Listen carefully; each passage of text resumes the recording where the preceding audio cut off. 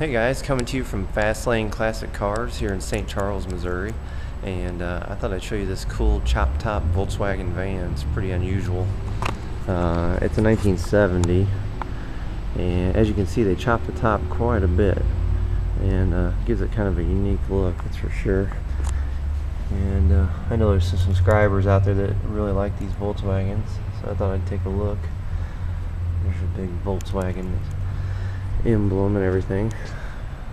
It says it's 1970, 1995. It's got the little hula girl on there. And it's got these little uh, sliding windows. You can see that. We'll take a look inside here. Cloth bucket seats.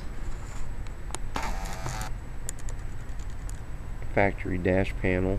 Uh,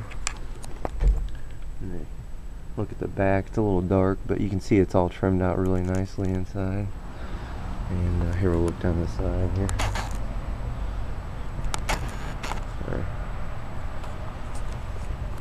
And it's got these uh, little uh, sort of Torq Thrust style wheels on it, but they're got VW emblems in them, kind of neat.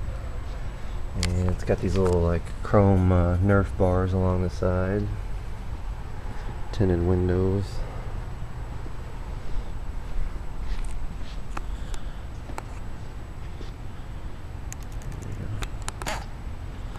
And uh, as you can see, it's got kind of the Monza style exhaust with the quad tips back there. And uh, I don't know if you got, if we can see anything up underneath there. But uh, it's kind of an unusual looking vehicle look. There we go. But, uh, you know, that chop top really did change how it looked quite a bit. Here, let's see if we can take a look in there from this angle. Alright. Alright. But anyway, I just thought it was kind of an unusual vehicle. I thought you guys might like taking a look at it. And uh, I'm going to look around see what else they have. See you later. Bye.